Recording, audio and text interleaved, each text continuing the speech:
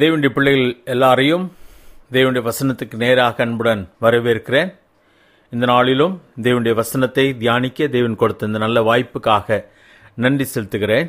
இந்த காலையிலே நம்முடைய தியானத்திற்காக ஒன்று சாமுவேல் முப்பதாவது அதிகாரம் ஆறாவது வசனத்தை மட்டும் நான் வாசிக்க விரும்புகிறேன் கவனியுங்கள் ஒன்று சாமுவேல் முப்பதாவது அதிகாரம் ஆறாவது வசனம் தாவிது மிகவும் நெருக்கப்பட்டான் சகல ஜனங்களும் தங்கள் குமாரர் குமார்த்திகளின் நிமித்தம் மனக்லேசமானதினால் அவனை கல்லறிய வேண்டுமென்று சொல்லிக் கொண்டார்கள் தாவீது தன் தேவநாய கத்தருக்குள் தன்னை திடப்படுத்தி கொண்டான் என்று சொல்லி வாசிக்கிறோம் இந்த ஆறாவது வசனத்தில் ரெண்டு காரியங்களை நாம் கவனிக்கிறோம் ஒன்று தாவீது மிகவும் நெருக்கப்பட்டான் என்று சொல்லி வாசிக்கிறோம் அதோடு கூட தாவீது தன் தேவநாய கத்தருக்குள்ளே தன்னை திடப்படுத்தி கொண்டான் என்றும் வாசிக்கிறோம் தாவீது மிகவும் நெருக்கப்பட்டவன் எப்பொழுதென்று சொன்னால் தேவனால் கைவிடப்பட்ட பொழுது அல்ல தேவனால் தெரிந்து கொள்ளப்பட்ட பொழுது அவன் அதிகமாய் நெருக்கப்பட்டவனாக இருக்கிறான் அவன் வாழ்க்கையிலே அவன் ஆடுகளை மேய்த்து கொண்டிருந்த பொழுது மிகவும் சந்தோஷமாய் தன் ஆடுகளை பாதுகாத்து பராமரித்து கொண்டு வந்த அவன் தேவனால் இஸ்ரேவேலின் ஜனங்களை ஆளும் ராஜாவாக அபிஷேகம் பண்ணப்பட்ட நாளிலிருந்து சிங்காசனத்திலே அமரும் நாள் மட்டுமாக பல வருடங்கள் பலவிதமான காரியங்களிலே அவன் நெருக்கப்பட்டவனாக இருக்கிறான் இந்த காரியத்தை குறித்து நாம் இந்த நாளிலே தியானிக்கப் போகிறோம் நம்முடைய வாழ்க்கையிலும் பலவிதமான நெருக்கங்கள் இருக்கலாம் அந்த நெருக்கத்தின் நேரத்திலே நானும் நீங்களும் என்ன செய்ய போகிறோம் என்ன செய்து கொண்டிருக்கிறோம் என்ன செய்கிறவர்களாக இருக்கிறோம் என்பதை நாம் நிதானித்து பார்க்க வேண்டியவர்களாக நாம் காணப்படுகிறோம் தாவீது தன் வாழ்க்கையிலே மிகவும் நெருக்கப்பட்ட பொழுது தாவீது தன் தேவநாய கத்தருக்குள்ளே தன்னை திடப்படுத்தி கொண்டான் என்று சொல்லி இந்த வசனத்தில் வாசிக்கிறோம் இதற்கு முன்பதாக இதே ஒன்று சாமுவேல் இருபத்தி மூன்றாவது அதிகாரம் பதினாறாவது வசனத்திலே வாசிக்கும் பொழுது அப்பொழுது சவுலின் குமாரனாகிய யோனத்தான் எழுந்து காட்டில் இருக்கிற தாவிதினிடத்தில் போய் தேவனுக்குள் அவன் கையை திடப்படுத்தி என்று சொல்லி வாசிக்கிறோம் இப்பொழுதும் தாவீது தேவனாலே அதிகமாய் நெருக்கப்பட்டான் இந்த இடத்திலே தாவீது இளவயதாயிருக்கிறான் ஆடுகளை மேய்த்து கொண்டிருந்தவன் மட்டுமல்ல தெய்வனால் அபிஷேகம் பண்ணப்பட்டு அரண்மனைக்கு வரும் வழிகளை தெய்வன் ஏற்படுத்தி இப்பொழுது சவுலின் குடும்பத்தாரோடு கூட மிக நெருக்கமானவனாக இருக்கிறான் சவுலின் குமாரன் யோனதான் தாவிதை அதிகமாய் நேசித்தான் சவுலின் குமாரத்தி மீகாள் தாவீதை நேசித்து அவனை திருமணம் பண்ணியிருந்தாள் ராஜாவின் குடும்பத்தாரோடு கூட சம்பந்தம் கலந்தவனாக மிக அற்புதமான சூழ்நிலையிலே அவன் தேசத்திற்காக வைராக்கியம் பாராட்டி கோலியாத்தை கொலை செய்தது நிமித்தம் சவுலின் பகையை அவன் சம்பாதித்தான் அது சாதாரணமான பகையல்ல சவுல் ராஜா தாவீதை கொலை செய்ய பார்த்தான் பலமுறை முயன்றான் இப்பொழுது அவன் நிச்சயமாய் கொலை செய்து விடுவான் என்பது தாவிதுக்கும் தெரிய வந்தது யோனத்தானுக்கும் தெரிய வந்தது அப்பொழுது தாவிது மிகவும் சோர்ந்து போனவனாக ஏன் இப்படி நடக்கிறது உன் தகப்பனுக்கு நான் என்ன துரோகம் செய்தேன் ஏன் அவர் என்னை கொல்ல பார்க்கிறார் என்றெல்லாம் யோசிக்கும் நேரத்தில்தான் காட்டில் இருந்த தாவீதை சவுலின் குமாரனாகி யோனத்தான் வந்து சந்திக்கிறதை நாம் இந்த பகுதியிலே பார்க்கிறோம் இந்த பகுதியிலே சோர்ந்து போன தாவிதை யோனத்தான் வந்து தேவனுக்குள் அவன் கையை திடப்படுத்தினான் என்று சொல்லி வாசிக்கிறோம் அதான் பதினாறாவது வசனத்திலே வாசிக்கிறோம் இங்கே திடப்படுத்தப்பட்ட பொழுது யோனத்தானின் உதவியோடு கூட திடப்பட்டதை நாம் வாசிக்கிறோம் இதுதான் மிகவும் முக்கியமான ஒரு காரியம் நம்முடைய வாழ்க்கையிலே நெருக்கப்படுகிற நேரங்கள் உண்டு நெருக்கப்படுகிற நேரங்களிலே நானும் நீங்களும் சோர்ந்து போகிறவளா இல்லாமல் நாம் நம்மை திடப்படுத்திக் கொள்கிறவர்களாக இருக்க வேண்டும் இதை குறித்து தான் இந்த நாளிலே பார்க்க போகிறோம் எப்படி நாம் நம்மை திடப்படுத்திக் கொள்ள முடியும் என்று சொல்லி மூன்று காரியங்களை நான் உங்களோடு கூட பகிர்ந்து கொள்ளப் போகிறேன் நம்முடைய வாழ்க்கையிலே நாம் நம்மை திடப்படுத்தாமல் போவோமானால் நாம் இந்த வாழ்க்கையை நாம் முழுமையாய் வாழ்ந்து முடிக்க முடியாது இந்த பலன் அற்றவர்கள்தான் அநேக தங்கள் வாழ்க்கையை மாய்த்து கொள்கிறார்கள் அல்லது தவறான முடிவுகளுக்குள்ளாக போகிறார்கள் ஆனால் நானும் நீங்களும் தெய்வனுடைய பிள்ளைகளாக இருக்கிறபடினாலே இப்படிப்பட்ட நெருக்கங்கள் வேண்டாம் என்று நாம் சொல்ல முடியாது அதை நாம் நம்முடைய வாழ்க்கையிலே சந்தித்துதான் ஆக வேண்டும் என்பது நிச்சயமான ஒரு காரியமாயிருக்கிறது இருக்கிறது தாவீது அதிகமாய் நெருக்கப்படுகிறவனாக காணப்படுகிறான் தாவீது எப்படி தன்னை திடப்படுத்தினான் அல்லது யோனத்தான் எப்படி தாவீதை திடப்படுத்தினான் என்பதை நாம் கவனிப்போமானால் முதலாவது காரியம் தேவனுக்குள் அவனை திடப்படுத்தினான் என்று சொல்லி இருபத்தி மூன்றாவது அதிகாரத்திலும் முப்பதாவது அதிகாரத்திலே நாம் வாசித்த பகுதியிலே தாவீது தன் தேவனாய் கத்தருக்குள்ளே தன்னை திடப்படுத்தி கொண்டான் என்று சொல்லி வாசிக்கிறோம் முதலாவது காரியம் தேவனுக்குள் தான் ஒரு மனிதன் திடப்பட முடியும் தேவனுக்கு வெளியே திடப்படுத்துதல் இல்லை உலகம்தான் நம்மை சோதிக்கிறது நம்மை அழிக்க பார்க்கிறது தேவன் மட்டும்தான் நம்மை பலப்படுத்த முடியும் இப்படிப்பட்ட நெருக்கங்கள் நேரிடும்போது தேவனிடத்திலே கோபித்து கொள்கிறோம் தேவனை விட்டு விலக பார்க்கிறோம் இது பிசாசினுடைய பயங்கரமான வஞ்சனையாய் காணப்படுகிறது என்பதை நீங்கள் மனதிலே வைத்து ஆக வேண்டும் காரணம் பிசாசு தான் நமக்கு இப்படிப்பட்ட நெருக்கங்களை கொண்டு வருகிறான் ஆண்டவர் அனுமதித்தாலும் கூட தீமையான காரியங்களை நம்மை சோர்வடைய பண்ணுகிற காரியங்களை நம்முடைய வாழ்க்கையில் நம்மை வீழ்த்தக்கூடிய காரியங்களை பிசாசானவனே திட்டமிட்டு தன்னுடைய தீமையின் செயல்களாலே அவைகளை கொண்டு வருகிறான் அடுத்ததாக நம்மிடத்திலே வந்து அவன் சொல்லுகிற காரியம் என்னவென்று சொன்னால் தேவன் உனக்கு துரோகம் செய்து விட்டார் தேவன் உனக்கு நன்மை செய்யவில்லை தேவன் உன்னை நேசிக்கவில்லை அவர் உன்னை நேசிப்பாரானால் இப்படியெல்லாம் உன் வாழ்க்கையில் நடக்க முடியுமா என்று சொல்லி நம்முடைய காதுகளிலே சொல்லி நம்மை தேவனை விட்டு பிரிக்க பார்க்கிறான் நாம் தேவனை விட்டு பிரிந்து போகும் பொழுது பிசாசு இன்னும் எளிதாக நம்மை அழித்து போடுகிறவனாக காணப்படுகிறான் நம்முடைய வாழ்க்கையிலே தேவன் வைத்திருக்கிற பெரிய திட்டங்களை இல்லாமல் செய்து விடுகிற பலன் அவனுக்கு கிடைத்துவிடும் காரணம் முழுமையாக நாம் அவனுடைய கரத்திலே போய் விழுந்து விடுகிறோம் இந்த வஞ்சனைக்கு நாம் இடம் கொடுக்கக்கூடாது நம்முடைய தேவன் எப்படிப்பட்டவராய் இருக்கிறார் என்று சொன்னால் ஏசாயா நாற்பத்தி ரெண்டாவது அதிகாரம் எடுத்துக்கொள்வோம் ஏசாயா நாற்பத்தி ரெண்டாவது அதிகாரம் மூன்றாவது வசனத்தை நான் உங்களுக்கு வாசிக்கிறேன் கவனியுங்கள் ஏசாயா நாற்பத்தி ரெண்டு மூன்றாவது வசனம் அவர் நெறிந்த நாணலை முறியாமலும் மங்கி எரிகிற திரியை அணையாமலும் நியாயத்தை உண்மையாக வெளிப்படுத்துவார் என்று சொல்லி வாசிக்கிறோம் அடுத்த வசனத்திலே வாசிக்கும் பொழுது அவர் நியாயத்தை பூமியிலே நிலைப்படுத்தும் மட்டும் இழக்கரிப்பதும் இல்லை பதறுவதும் இல்லை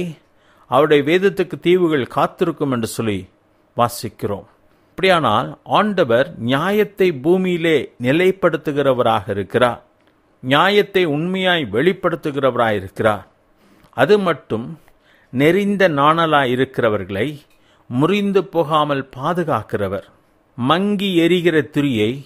அணையாமல் பாதுகாக்கிறவர் காரணம் அந்த நியாயம் வெளிப்படும் மட்டும் ஏது உண்மை என்பது வெளிப்படும் மட்டுமாக நெறிந்த நாணலை முறியாமலும் மங்கி எறிகிற திரியை அணையாமலும் அவர் பார்க்கிறவராயிருக்கிறார் அப்படியானால் நம்முடைய தேவன் மனிதனை அழிப்பவர் அல்ல துன்மார்க்கன் மடிந்து போகிறது கூட அவருக்கு விருப்பமில்லாத காரியம் யாருமே கெட்டு போகக்கூடாது என்றுதான் அவர் விரும்புகிறவராக இருக்கிறார் ஆனால் பிசாசானவன் யாராய் இருக்கிறான் என்று சொன்னால் மனுஷ கொலைபாதகன் என்று சொல்லி வேதத்திலே வாசிக்கிறோம் எல்லாரையும் அழித்து போடுகிறவனாய் காணப்படுகிறான் எல்லாரும் அழிவை நோக்கி போக வேண்டும் என்பதுதான் அவனுடைய ஒரே திட்டமாக இருக்கிறது ஆனால் ஆண்டவரோ நம்மை அவர் பாதுகாக்கிறவராயிருக்கிறார் இப்படி பிசாசினாலே நோகடிக்கப்பட்ட மக்கள் நெறிந்து போன மக்கள் மங்கி எரிந்து கொண்டிருக்கிற நிலையில் இருக்கிற மக்களை ஆண்டவர் பாதுகாத்து மறுபடியுமாக அவருடைய வாழ்க்கையிலே நியாயத்தை அவர் நிறுவுகிறவராக காணப்படுகிறார் இதுதான் வேதம் சொல்லுகிற காரியம் ஆனால் இந்த உலகத்திலே எல்லா இடங்களில் நாம் கவனிக்கிற ஒரு காரியம் என்னவென்று சொன்னால் என் வாழ்க்கையிலே தீமை நடந்ததற்கு என்னுடைய தேவன்தான் காரணம் என்று சொல்லி தெய்வத்தை குற்றம் சாட்டுகிறதை நாம் பார்க்கிறோம் யாக்கோபு நிருபத்தில் நாம் வாசிப்போமானால் யாக்கோபு முதலதிகாரம் பதினேழாவது வசனத்திலே நாம் படிக்கும் பொழுது நன்மையான எந்த ஈவும் பூரணமான எந்த வரமும்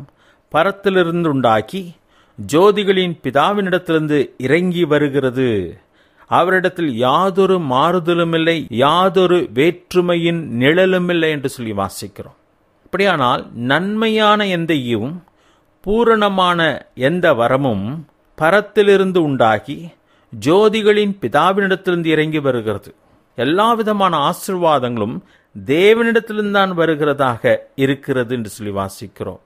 ஆனால் மனிதனை அழிவுக்குள்ளாக வழி நடத்துகிறது யார் என்று சொன்னால் பிசாசானவனாக இருக்கிறான் அதே அதிகாரம் பதிமூன்றாம் வசனத்திலே வாசிக்கும் பொழுது சோதிக்கப்படுகிற எவனும் நான் தேவனால் சோதிக்கப்படுகிறேன் என்று சொல்லாதிருப்பானாக என்று சொல்கிறார் அது மட்டுமல்லாமல் தேவன் பொல்லாங்கினால் சோதிக்க படுகிறவரும் அல்ல ஒருவனையும் அவர் சோதிக்கிறவரும் அல்ல என்று சொல்லி வாசிக்கிறோம் அவருடைய வாழ்க்கையில் ஏற்படுகிற சோதனைகள் பிசாசினால் உண்டாகிறதாக இருக்கிறது பதினான்காம் வசனத்தில் சொல்லும் பொழுது அவன் அவன் தன் தன் சுய இச்சையினால் இழுக்கப்பட்டு சிக்குண்டு சோதிக்கப்படுகிறான் அந்த சோதனைகளை கொண்டு வருகிறவன் அவன்தான் அவன்தான் எல்லாவற்றுக்கும் மூல காரணமாக காணப்படுகிறான் ஆனால் ஆண்டவரோ நம்மை அப்படிப்பட்ட பயங்கரத்திலிருந்து விடுதலையாக்கி நெறிந்த நாணலை முறியாமல் பாதுகாத்து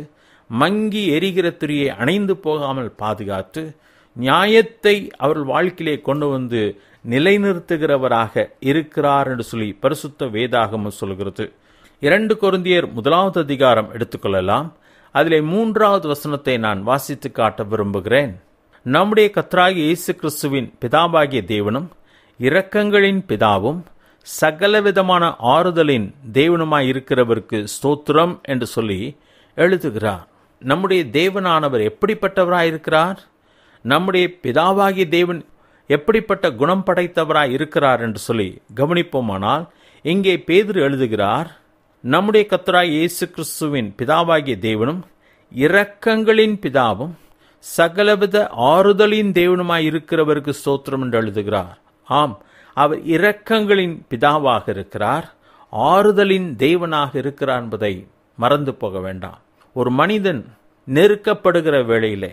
கஷ்டமான சூழ்நிலையிலே அவன் யாரிடத்திலே போக வேண்டும் என்று சொன்னால் தேவனிடத்திலே போக வேண்டும் தேவனை விட்டு விலகுவது என்பது பிசாசின் சூழ்ச்சியாக இருக்கிறது வேதம் வாசிக்காமல் ஜெபிக்காமல் ஆலயத்துக்கு போகாமல் தேவனுடைய வார்த்தையை கேட்காமல் இப்படிப்பட்ட காலங்களில் நாம் இருப்போமானால் எளிதாக நம்மை பிசாசானவன் வீழ்த்தி விடுகிறவனாக காணப்படுகிறான்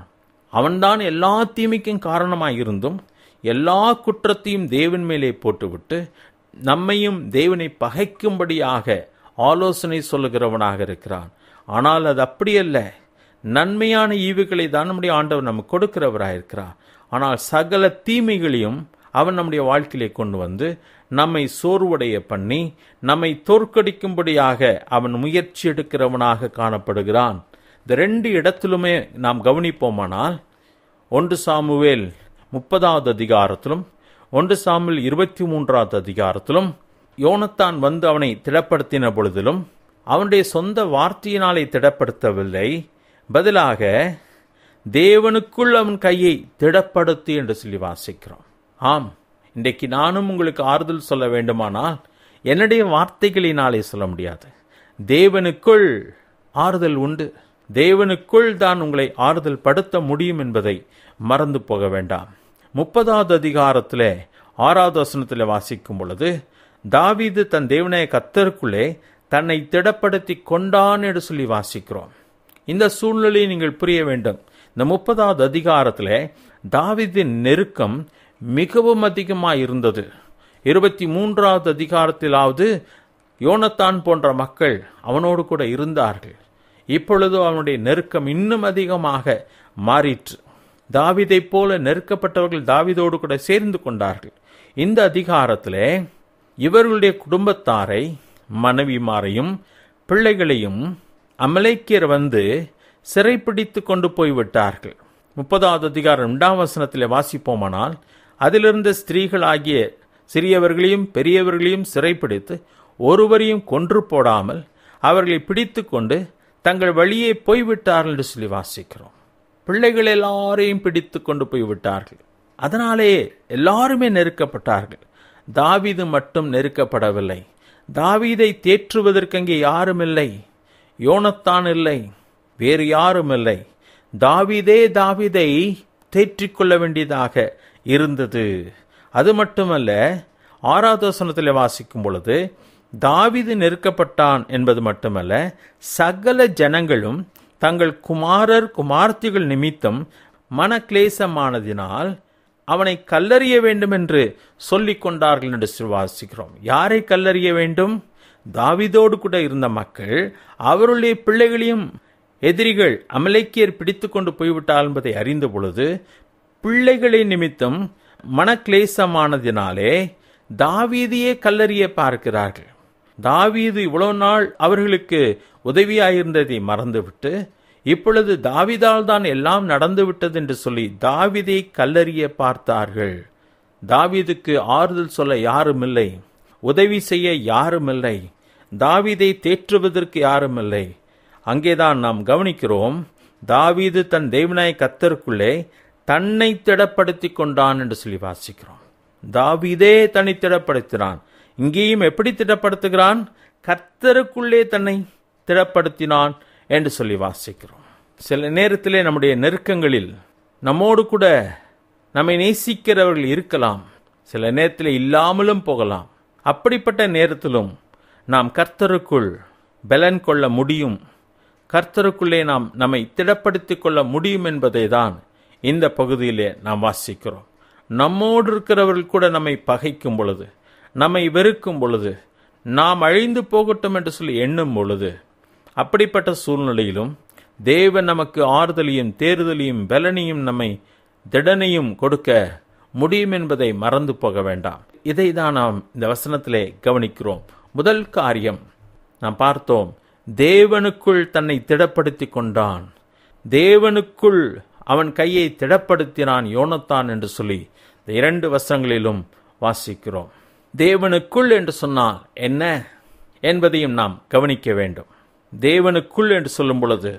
ஒன்று சாமில் இருபத்தி மூன்றாவது அதிகாரம் பதினேழாவது வசனத்தை நான் வாசிக்கிறேன் பாருங்கள்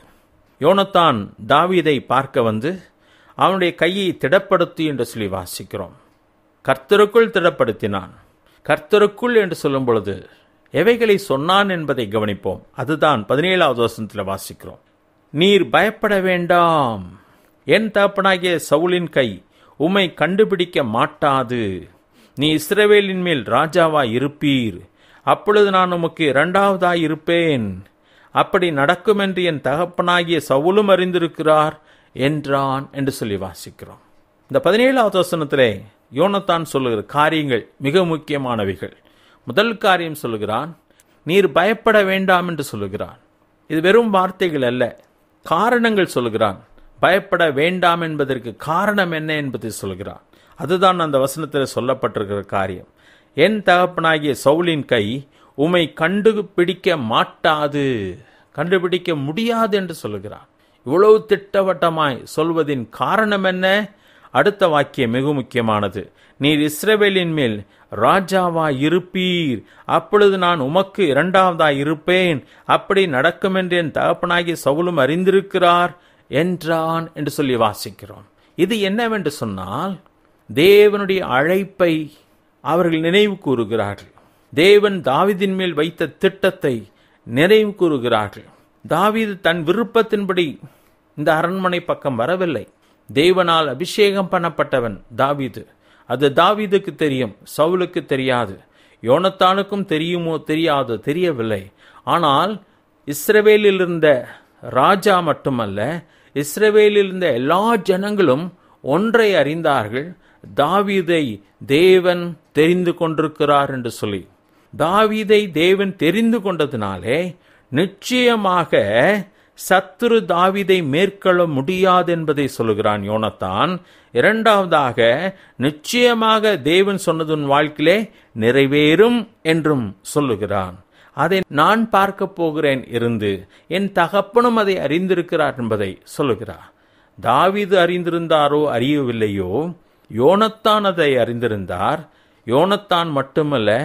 சவுலும் அதை அறிந்திருந்தான் பிரியமானலே இதுதான் மகத்துவமான ஒரு காரியம் நம்முடைய அழைப்பு நம்முடைய தைரியமாக இருக்கிறது என்பதை மறந்து போக வேண்டாம் தாவீதை தேவன் தெரிந்து கொண்டிருந்தார் இஸ்ரவேலை நீ மெய்க்க வேண்டும் என்று சொல்லி அவனுக்கு தன் ஜனத்தை அவன் கையிலே கொடுத்திருந்தார் தாவீதை தேடி போகவில்லை தேவன்தான் தாவீதை தேடி வருகிறார் இவன்தான் எழுந்திருந்து அபிஷேகம் பண்ணும் என்று சொல்லி சாமுவேலிடத்திலே சொன்னது கர்த்தர் என்பதை மறந்து போக வேண்டாம் அப்படி தேவனால் தெரிந்து கொள்ளப்பட்டபடியினாலே யோனத்தான் சொல்கிறான் உம்மை கொல்ல தேடிக்கொண்டிருக்கிற என்னுடைய தகப்பனாருடைய கை உம்மை கண்டுபிடிக்க முடியாது என்று சொல்கிறான் ஏனென்று சொன்னால் தேவன் உம்மை ராஜாவாக தெரிந்தெடுத்திருக்கிறார் நீர் நிச்சயமாகவே ராஜாவாக இருப்பீர் அது எனக்கு தெரியும் என் தகப்பனாருக்கும் தெரியும் என்று சொல்லி அழகாய் சொல்லுகிறதை நாம் பார்க்கிறோம் பிரியமான இது மிகவும் முக்கியமான ஒரு காரியம் நம்முடைய வாழ்க்கையில தேவன்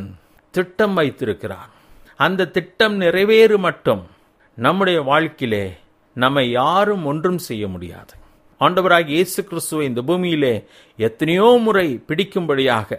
கல்லறியும்படியாக முயற்சி எடுத்தார்கள் நாசிரேத்தூரிலே மலை உச்சியிலிருந்து அவரை கீழே தள்ளி கொலை செய்யும்படியாக முயற்சி எடுத்தார்கள் பிலாத்து சொல்லுகிறான் உமை சிறுவையில் அறியவும் எனக்கு அதிகாரம் உண்டு உமை விடுதலையாக்கும் எனக்கு அதிகாரம் உண்டு என்று சொல்லி ஆனால் ஆண்டவர் மிக சாதாரணமாக சொல்லிவிட்டார் பரத்திலிருந்து என் மேலே உனக்கு அதிகாரம் கொடுக்கப்படவில்லை என்று சொன்னார் என் மேலே உனக்கு ஒரு அதிகாரமும் இல்லை என்று சொல்கிறார் ஆம் தேவன் நம்மை அழைத்த நோக்கம் நிறைவேறி முடியும் மட்டும் நம்மை முழுமையாய் அவர் பாதுகாக்கிறவராக இருக்கிறார் என்பதை நாம் ஒரு காலும் மறந்து போகக்கூடாது யோனத்தான் இதைதான் தாவிதுக்கு மிகவும் தெளிவாக எடுத்துரைக்கிறதை பார்க்கிறோம் நீ பயப்பட வேண்டாம் என் தகப்பனாகி சவுலின் கையுமை கண்டுபிடிக்க முடியாது நீ இஸ்ரவேலின் மேலே ராஜாவாய் இருப்பீர் அப்பொழுது நான் உமக்கு இரண்டாவதாய் இருப்பேன் அப்படி நடக்கும் என்று என் தகப்பனாகிய சவுலும் அறிந்திருக்கிறார் என்று சொல்லி மிக உறுதியாக சொல்லி அவள் இருவரும் உடன்படிக்கை செய்து பிரிகிறார்கள் அந்த இடத்திலே தாவீது தனிமையாக இருந்து நெருக்கப்பட்ட பொழுதிலும் அதைதான் தாவீது மனதிலே வைத்து தேவனுக்குள் தன்னை திடப்படுத்தி கொண்டான் என்று சொல்லி வாசிக்கிறோம் இது மிகவும் முக்கியமான ஒரு காரியம் நானும் நீங்களும் தேவனால் அழைக்கப்பட்டவர்கள் தேவனால் அபிஷேகம் பண்ணப்பட்டவர்கள் அவருக்கென்று நாம் பிரித்தெடுக்கப்பட்டவர்கள் மறந்து போக வேண்டாம் தேவனுடைய பிள்ளைகள் எல்லாருமே தேவனாலே பிரித்தெடுக்கப்பட்டவர்கள் அவருடைய திட்டத்தை நிறைவேற்றும்படியாக நாம் தெரிந்தெடுக்கப்பட்ட பிள்ளைகள் என்பதை மறந்து போக வேண்டாம் நம்மை கொண்டு அவர் செய்ய வேண்டிய திட்டங்கள் உண்டு அதனாலே நாம் பயப்பட வேண்டிய அவசியமில்லை அந்த பணி நாம் செய்து முடிக்க மட்டும் யாரும் நம்மை தோற்கடிக்க முடியாது என்பதுதான் உண்மையான ஒரு காரியம் காரணம் நாம் அந்த திட்டத்தை நிறைவேற்றவில்லை நம்மை கொண்டு தேவன் அந்த திட்டத்தை நிறைவேற்றி கொண்டிருக்கிறபடினாலே தேவ நம்மை முழுமையாய் பாதுகாக்கிறவராக இருக்கிறார் அதன் அடிப்படையிலே அவர் அவனை திடப்படுத்துகிறான் இங்கே தாவிதும் தன்னை தேவனுக்குள் திடப்படுத்தி கொண்டான் என்று சொல்லி வாசிக்கிறோம் மூன்றாவது காரியமாக கவனிப்போமானால் தாவீது தன்னை திடப்படுத்தி கொண்டு தொடர்ந்து செல்லும்படியாக முடிவெடுக்கிறதை பார்க்கிறோம் தாவீதனுடைய பிரச்சனை ஒரு நாள் இரண்டு நாளிலே அல்லது ஒரு வருடம் இரண்டு வருடத்திலே முடிந்து போகவில்லை தாவீது அபிஷேகம் பண்ணப்பட்ட நாளிலிருந்தே அவனுக்கு பிரச்சனைகள் ஆரம்பமாயிற்று அது மிகவும் முற்றிக்கொண்டே வந்தது ஒரு கட்டத்திலே தாவீது ஒரு நாளிலே சவுல் நிச்சயமாய் நம்மை கொன்று போடுவான் என்று சொல்லிதான் அந்நிய தேசத்திற்கு அவன் ஓடுகிறான் அந்நிய ராஜாவினிட அடைக்கலம் புகுந்து கொள்ளும்படியாக முயற்சிகளை எடுக்கிறான் அநேக பாடுகள் இப்பொழுது ஒன்று சாமியில் முப்பதாவது அதிகாரத்திலே பார்க்கும் பொழுது அப்படி அவர்கள் பல இடங்களுக்கு போய் வரும் பொழுதுதான் இங்கே இருந்த அவருடைய மனைவிமார்களையும் பிள்ளைகளையும் அம்லேக்கியர் கொண்டு போய் விட்டார்கள் இப்பொழுது அவர்கள் அழுகிறார்கள் அந்த முப்பதாவது அதிகாரம் நான்காவது வசனத்தில் கவனிக்கும் பொழுது அப்பொழுது தாவீதும் அவனோடிருந்த ஜனங்களும்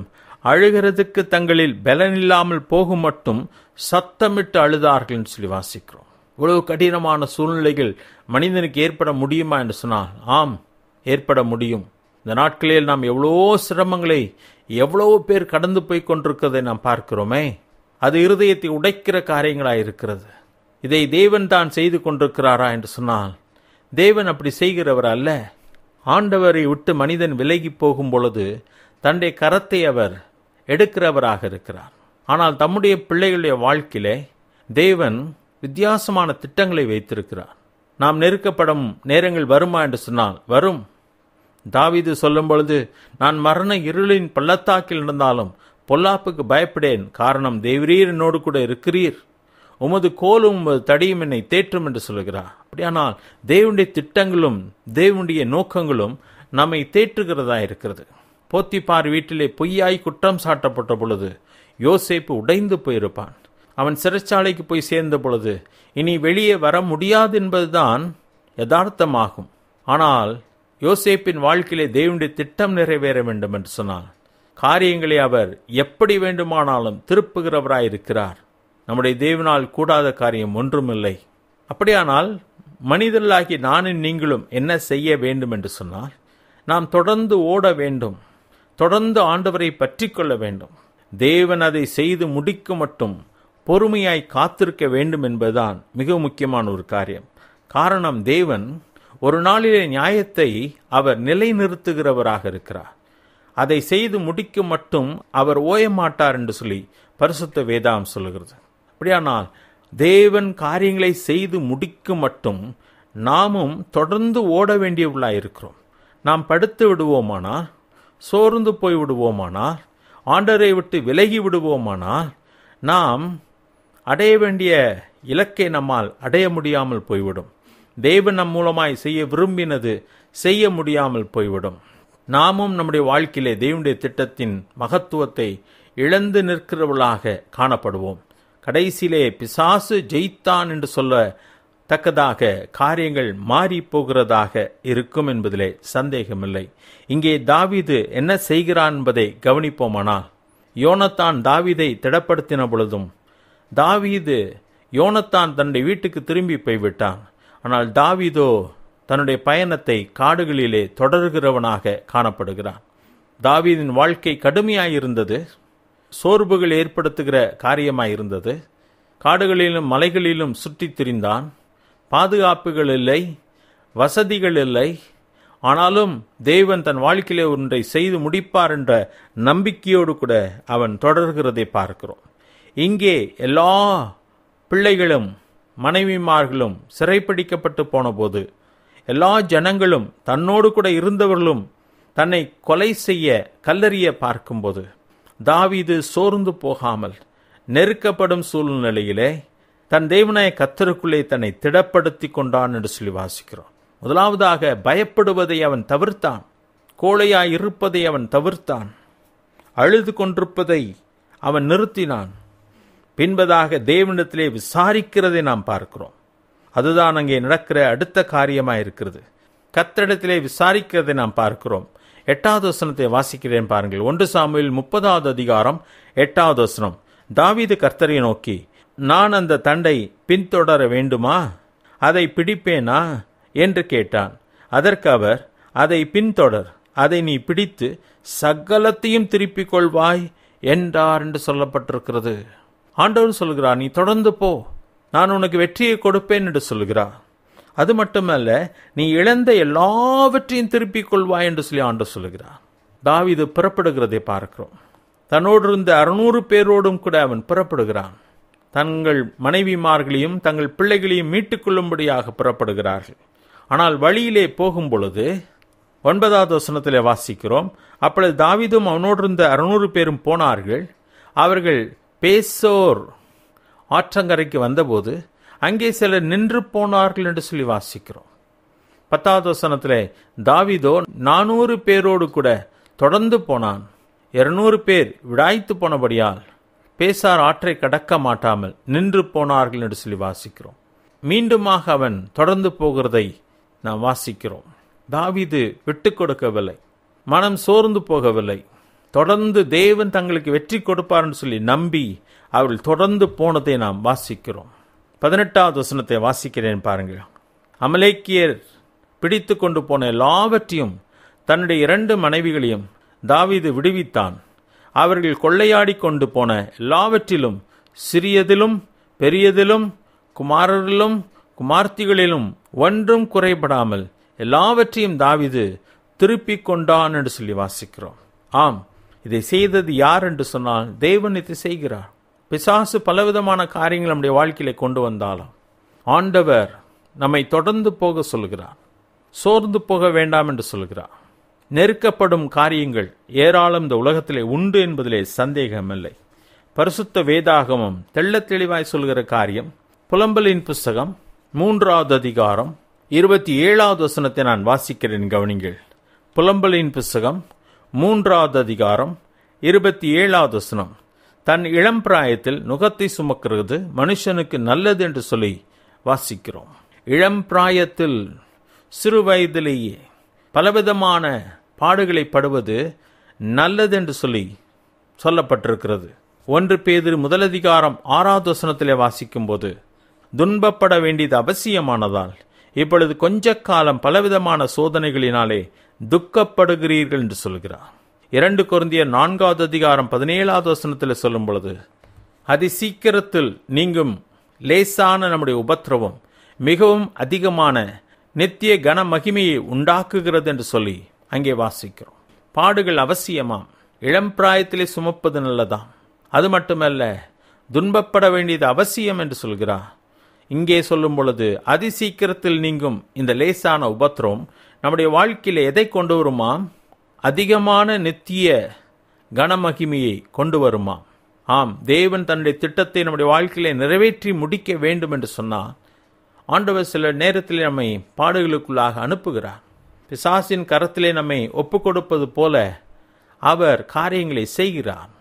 சீச்சரிடத்திலே சொல்லும் பொழுது அவர் சொல்லுகிறார் ஆடுகளை ஓனாயிலுக்குள்ளே அனுப்புகிறது போல நான் உங்களை அனுப்புகிறேன் ஆனாலும் பயப்பட வேண்டாம் என்று சொல்லுகிறார் உலகத்திலே உங்களுக்கு உபத்திரங்கள் உண்டு ஆனாலும் நான் உலகத்தை ஜெயித்தேன் என்று சொல்கிறார் பாடுகள் உள்ள உலகத்திலே நம்மை ஆண்டோர் விட்டு வைத்திருக்கிறார் எதற்காக என்று சொன்னால் தம்முடைய வல்லமையை நம்முடைய வாழ்க்கையின் மூலமாக விளங்கச் செய்வதற்காக அதற்காக நாம் பல பாடுகளின் வழியாக தான் கடந்து போய் ஆக வேண்டும் பலவிதமான வேதனைகள் பலவிதமான நெருக்கங்கள் உண்டு இந்த நெருக்கங்களிலிருந்து தப்பிக்கொள்வதற்காக தவறான முடிவுகளை நானும் நீங்களும் எடுத்துவிடக்கூடாது என்பது தேவனுடைய ஆலோசனையாக இருக்கிறது நம்முடைய வாழ்க்கையில் நாம் நெருக்கப்படுகிறோமா நெருக்கப்படுகிற நேரத்திலே நாம் என்ன செய்கிறோம் என்பதை சற்று சிந்தித்து பார்க்கலாமா நெருக்கப்படுகிற நேரத்திலே தேவனை விட்டு விலகிவிட வேண்டாம் யோனத்தான் சொல்கிறான் நீர் பயப்பட வேண்டாம் என்று சொல்கிறான் ஆம் நாம் பயப்படக்கூடாது நிச்சயமாய் சத்ரு உங்களை மேற்கொள்ள முடியாது என்று சொல்கிறான் அது நாம் நம்ப வேண்டிய முக்கியமான ஒரு காரியம் அது மட்டுமல்ல தேவன் உங்களை எதற்காக அழைத்தாரோ அந்த காரியமுடைய வாழ்க்கையிலே நிறைவேறி முடியும் என்று சொல்கிறார் அதை நான் உம்மோடு கூட இருந்து நான் பார்க்க போகிறேன் சொல்கிறார் இதை என் தகப்பனாரும் அறிந்திருக்கிறார் என்று சொல்கிறார் அதுதான் உண்மையான ஒரு காரியம் தாவிதின் வாழ்க்கையிலே இந்த பாடுகளிலே மட்டுமல்ல அவன் தேவன் சொன்னபடி சிங்காசனத்திலே தேவனாலே அமர்த்தப்பட்டார் இஸ்ரவேலிலே மிக சிறப்பான ராஜாவாக திகழ்ந்ததை நாம் பார்க்கிறோம் வேறு யாரும் இவ்வளவு அழகாக உருவாக்கப்படவும் இல்லை வேறு யாரும் இவ்வளோ அழகாக உருவாகவும் இல்லை சிறந்த ராஜாவாக திகழவும் இல்லை தேவ நம்மை வழிநடத்துகிற பாடுகளிலே நாம் அவரை நம்பி கடந்து போனால்தான் நிச்சயமாக தேவன் நினைத்ததை நம்முடைய வாழ்க்கையிலே நிறைவேற்ற முடியும் கண்ணீரின் பள்ளத்தாக்கை உருவ நடந்துதான் அதை நீர்வற்றாக்கி கொள்ள முடியும் என்பதை புரிந்து கொள்வோம் அப்படியான நம்முடைய வாழ்க்கையிலே நாம் நெருக்கப்படுவோமானா ஆண்டவரை தூஷிக்கிறவர்களாக இருக்க வேண்டாம் ஆண்டவரை விட்டு விலகுகிற சிந்தை நமக்கு வேண்டாம் பதிலாக ஆண்டுடைய பாதத்திலே போய் அமர்ந்து நான் என்ன செய்ய வேண்டும் என்று சொல்லி ஆண்டோடத்தில் கேட்கும் பொழுது ஆண்டவர் நம்மை தெளிவாக வழி நடத்துகிறவராக இருக்கிறார் பயத்தை நிறுத்தி விடுவோம் அவருக்குள் தான் நமக்கு பலன் உண்டு அவரை விட்டு வெளியே நமக்கு பலன் இல்லை பாதுகாப்பும் இல்லை அவர் தான் நம்முடைய பலனாக இருக்கிறார் இரண்டாவதாக நம்முடைய அழைப்பை மறந்து போக வேண்டாம் எதற்காக நம்மை அழைத்திருக்கிறார் நம்முடைய வாழ்க்கையில் அவர் அழைத்த நோக்கத்தை நிச்சயமாய் நிறைவேற்றுவார் என்று சொல்லி உறுதியாக நம்பி நாம் முன்னேறி செல்ல வேண்டும் மூன்றாவதாக சொன்ன காரியம் படுத்து விட வேண்டாம் தொடர்ந்து ஓட வேண்டும் நம்முடைய வாழ்க்கையிலே தேவன் காரியங்களை செய்து முடிக்கும் மட்டும் தொடர்ந்து ஓடி ஆக வேண்டும் இதுதான் கர்த்தருக்குள் நம்மை திடப்படுத்திக் கொள்கிற ஒரு காரியம் வீணாக கவலைப்பட்டு கலங்க வேண்டிய அவசியமில்லை இப்படி நடந்து விடுமோ அப்படி நடந்து விடுமோ இது ஆகிவிடுமோ அது ஆகிவிடுமோ என்று சொல்லி நாம் பயப்படுவதை விட்டுவிட்டு கர்த்தருக்குள் நாம் நம்மை திடப்படுத்த வேண்டும் நம்முடைய தேவன் எப்படிப்பட்டவர் என்பதை நாம் நினைவு கூற வேண்டும் அவர் மங்கி எரிகிற திரியை அணைத்து போடுகிறவர் அல்ல அவர் நெறிந்த நாணலை முறித்து போடுகிறவர் அல்ல பதிலாக நியாயத்தை அவர் கொண்டு வந்து நிறுத்துவார் அது வரைக்கும் அவர் ஓய மாட்டார் என்று சொல்லி வேதத்திலே வாசிக்கிறோம் அப்படியானால் நமக்கு இந்த நாட்களிலே செய்யப்படுகிற அநீதிகள் தேவன் அதை செய்து முடிப்பார் அதற்கான நியாயத்தை கொண்டு வந்து நிறுத்துவார் அவர் அதுவரைக்கும் ஓய மாட்டார் என்பதுதான் வேதம் சொல்கிற காரியம் அப்படியானால் நாம் அவர் எப்படிப்பட்டவர் என்பதை மனதிலே வைத்து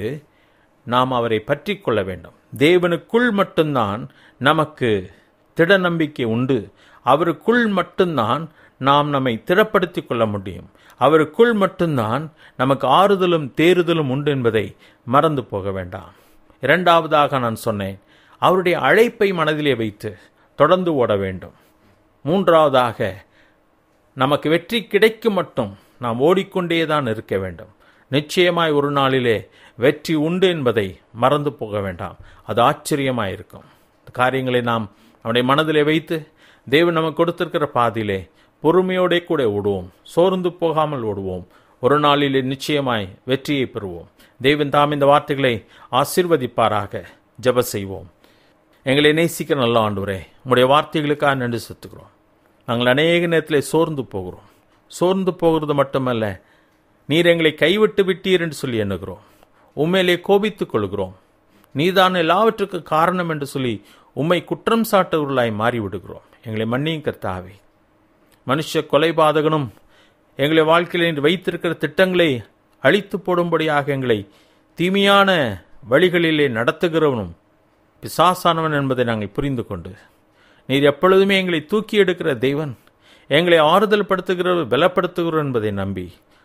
ஆண்டோரே உம்மிடத்திலே நாங்கள் எங்களை திடப்படுத்திக் கொள்ள தாரம் எங்கள் வாழ்க்கையில் அழகான திட்டத்தை வைத்திருக்கிறீர் அதை செய்து முடிக்க மட்டும் எங்களை ஒரு பொழுது நீ கைவிட மாட்டேன் என்பதை நாங்கள் புரிந்து கொள்ள தாரம் எத்தனை சிக்கல்கள் வந்தாலும் நாங்கள் தொடர்ந்து ஓடுகிறதை மட்டும் நிறுத்தி விடாதபடிக்கு தொடர்ந்து ஓடக்கூடிய பலனை எங்களுக்கு தாரும் கத்தாவி இந்த வார்த்தைகள் தொடர்ந்து பிரயோஜனமாக இருக்கட்டும் தாவிது இப்படி தான் தன்னை திடப்படுத்தி கொண்டான் என்பதை நாங்கள் நம்பி நாங்களும் மக்களாக எங்களை திடப்படுத்தி வெற்றி பெற கிருபை தாரும் வார்த்தைகள் தொடர்ந்து பிரயோஜனமாக இருக்கட்டும் மற்ற எல்லாவற்றையும் பொருட்படுத்திக்கொள்ளும் ஆசிரியம் ஏசு கிறிஸ்துவை நாம் நல்ல பிதாவே ஆமேன் நம்முடைய கத்தரா ஏசு கிறிஸ்துடைய கிருபையும் பிதாவாகிய தேவனுடைய அன்பும் பரிசுத்தாவியானுடைய ஐக்கியமும் நம் அனைவரோடும் இன்று நடக்கிருப்பதாக ஆமேன் என் ஆத்மாவே கத்தரை ஸ்தோத்ரி என் முழுவலுமே பரிசுத்தனாம்தி ஸ்தோத்ரி என் ஆத்மாவே கத்தரை ஸ்தோத்ரி அவசிய சகல உபகாரங்களையும் மறவாதே அமேன்